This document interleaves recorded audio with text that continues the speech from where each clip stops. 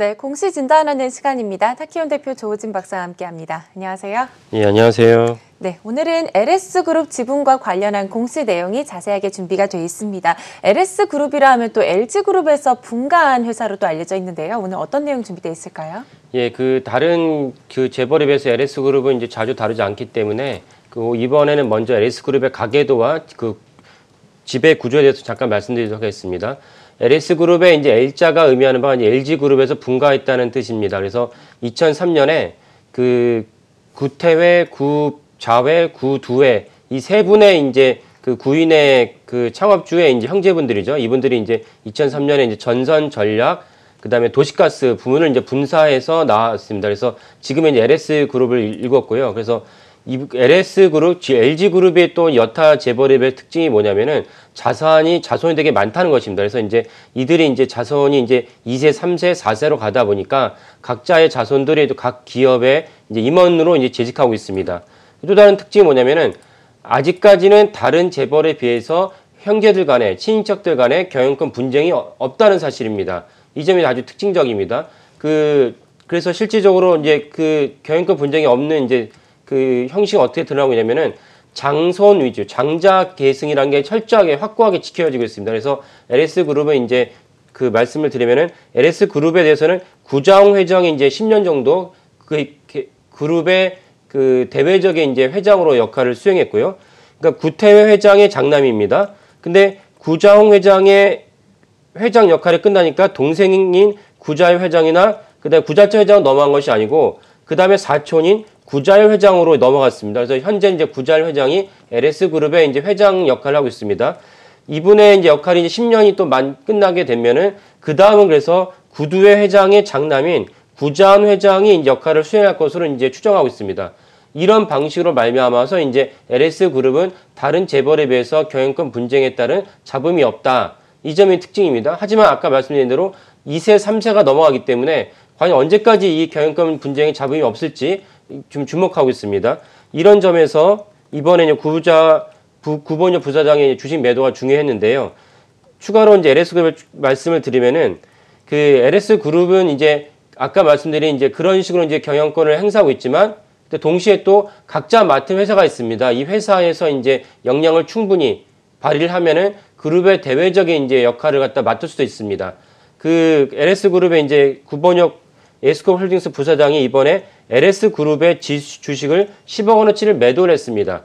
매도를 했는데 특징이 뭐냐면은 이번에 주식을 매도할 때 여기 날짜도 보면 나오시면은 23일이 이제 최종적 매도 날짜입니다. 그래서 19일에도 매도를 했는데 23일이면 오늘 아닙니까? 그러니까 오늘 주식시장이 장이 열리면 추가로 이제 매도를 하겠다라고 이제 공시 잡힌 것입니다. 보통 공시는 이미 거래가 끝난 다음에 이제 공시를 하기 마련이고 특별히 이렇게 그룹의 경영권을 좌지우지하게 되는 주식에 관련해서는 당연히 모든 것이 다 일단락 된 다음에 이제 공시하는 것이 일반적인 관례인데 구본혁 부사장은 특이하게 오늘도 추가로 매도를 하겠다라는 것을 이제 공시를 했습니다. 이 점이 좀 독특하다고 볼 수 있습니다.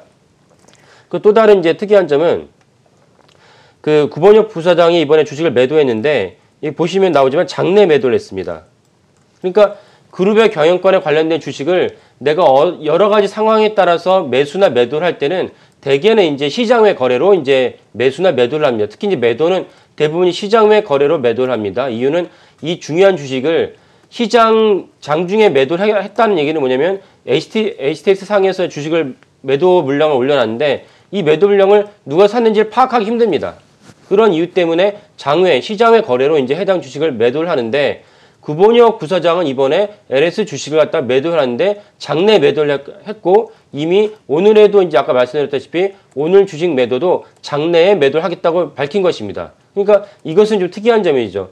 지금 사실은 원래 모태 기업을 할 수 있는 LG그룹이 이 문제 때문에 지금 검찰 조사를 받았고 재판이 2심 중에 2심에 진행 중에 있습니다. 사실 이런 관점에서 되게 독특하다 볼 수가 있고 구본혁 부사장은 LG 그룹, GS 그 LS 그룹의 구자명 니코 동재령 회장의 장남입니다. 그래서 그 일찍 돌아가셨기 때문에 다른 3세에 비해서는 올해 1월 달에 이미 대표이사로 올라갔다가 다시 일주일 만에 아, 대표이사를 맡기에는 내가 역량 부족하다고 스스로 또 발표를 스스로 내려오게 됐던 독특한 이력이 있습니다. 그래서 이번에 구본혁 그 부사장이 주식을 매도한 것은 두 가지 관점에서 특이하다. 장내 매도했다는 게 특이하고 또 하나는 오늘 추가로 매도를 또 그 발표했다는 점 특이합니다. 그리고 이제 이 관점이 주식 매도가 또 다른 중요한 점은 무엇이냐면 아까 이제 가계도를 말씀드렸다시피 LS 그룹은 철저하게 이제 장자 우선으로 이제 그 주식을 갖다가 매도를 하고 경영권을 승계를 하는데 그래서 아까 말씀드린 이제 아버지 세대, 삼촌 세대에서 이제 구자열 이런 분들이 이제 회장을 역임을 하고 그러면 그 후에 이제 4세 관점에서는 이제 구본혁 이제 부사장이 올해 1월 달에 다른 회사의 대표이사도 맡았기 때문에 사실상 구본혁 부사장이 그 4세들 중에서는 가장 먼저 이제 대표이사가 됐기 때문에 LS그룹을 대신해서 LS그룹의 대표가 되는 이제 경영자가 될 것이라고 예측을 했습니다. 근데 구본혁 부사장이 이번에 LS그룹 전체 경영권을 갖게 되는 LS그룹 주식을 갖다가 이렇게 매도를 했다는 점은 좀 특이하긴 합니다. 그래서 이렇게 재벌의 이제 주식의 매수 매도는 가문에서 먼저 결정을 하고 그에 따라서 합리적으로 순, 순조롭게 이제 매수 매도를 하는 것이 일반적인데 만약에 그렇다면 이 사실도 구본혁 부사장이 가문에서 허락을 받고 이제 그 주식을 매도했다고 볼 수 있는 것, 볼 수 있습니다. 그렇다면 구본혁 그 부사장은 향후 LS 그룹의 대표가 대표에서 한 발 물러서겠다는 뜻인지 이렇게 해석할 수도 있습니다. 그리고 추가로 이제 하나 더 말씀을 드릴 부분은 이것이 이제 LS 그룹의 이제 그 지분 구조 중에 하나인데요. 워낙 3세, 4세로 이제 가다 보니까 이렇게 어린 그 분들도 이제 주식을 갖게 됐습니다. 이제 이, 소연 씨는 이제 16살이고, 그 다음에 이신행은 이제, 이제 초등학교 이제 졸업하는 나이죠. 13살이고, 그리고 이주연은 이제 7살입니다. 이제 어린이라고 볼 수 있는데, 이들이 갖고 있는 주식이 18,000주입니다. LS 그룹의 LS 주식입니다. 그래서 종가, 20일 날 종가 기준으로 18,000원에 해당하는 금액은 10억 원이 넘습니다. 그러니까 이건 두 가지 관점에서 아니 이렇게 그 어린 나이의 친구들이 어떤 돈으로 이 주식을 매수했겠느냐라는 관점에서는 대부분 이제 그룹에서 뭐라고 해명하냐면 이제 제가 LS 그룹에 직접 취재하지 않았고 다른 이제 효성이나 다른 그룹에 문의했을 때 뭐라고 해명을 했냐면은 세뱃돈이다. 용돈을 받은 걸 갖고 차곡차곡 적, 저금을 했다가 한 번에 주식을 갖다가 매수한 것이다. 이렇게 해명을 합니다. 그래도 그나마 타당한 해명이죠. 근데 이 관점에서 봤을 때 두 가지의 생각이 듭니다. 하나는 뭐냐면은 어, 이렇게 부럽다는 생각이 들고 또 다른 관점은 부의 불평이 심하다.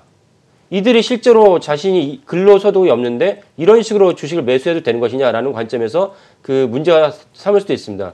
그러나 또 다른 관점은 뭐냐면 이 LS 그룹이 10년, 20년 계속 이렇게 번영한다면 일찌감치 이렇게 세뱃돈을 받아서 일반인 수준에서 벗어난 세뱃돈이긴 하지만 다른 일반인들과 개인 투자가들도 내가 어떤 그룹이나 20년, 30년 갈 종목이 있다 그러면은 우리 자녀들에게 세뱃돈 주듯이 매달 얼마씩 주듯이 했던 돈을 갖다 모아서 적금을 갖다가 만기에 찾듯이 그룹에 대한 주식에 대한 상장사의 종목을 일찌감치 차곡차곡 매수하는 것도 상후 10년, 20년을 바라보면은 보다 좋은 재테크가라고는 재테크라는 생각이 듭니다. 이런 관점에서 그룹의 아주 어린 친구들이 주식을 매입하는 것을 이렇게 바라볼 수 있다라는 생각이 듭니다. 네, 친인척 간의 경영권 분쟁이 아직까지 없다는 점이 좀 눈에 띄던 LG스 그룹인데 구본혁 사장의 추가적인 매도가 오늘도 예정돼 있다는 점도 짚어주셨고요. 장외가 아닌 장례라는 방식까지 함께 자세하게 들어봤습니다. 지금까지 타키온 대표 조우진 박사와 함께했습니다. 감사합니다. 네, 감사합니다.